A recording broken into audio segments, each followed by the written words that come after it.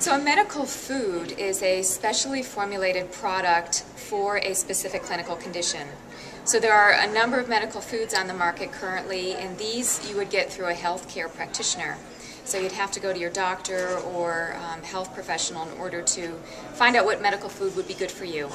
So there is a medical food um, that we have studied extensively for metabolic syndrome, and it's called Ultrameal Plus 360. Ultrameal Plus 360 contains a whole host of different nutrients that simply address the different pathways um, that are responsible for, for metabolic syndrome, kind of bringing those back into balance. So the, the base of Ultrameal Plus 360 is soy protein, and we know that soy protein is very beneficial for, for helping with reducing markers of heart disease, for improving body composition, and then layered onto that soy protein base, we also have plant sterols. And plant sterols are simply plant compounds that block the absorption of cholesterol.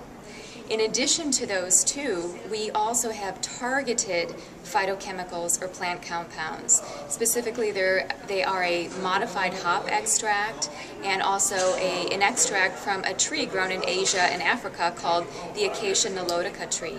And so we've taken an extract from those two, put those into Ultrameal Plus 360, and those two together act as potent insulin sensitizers, helping to get the body's insulin balance uh, back into to regulation so that the body can handle glucose better.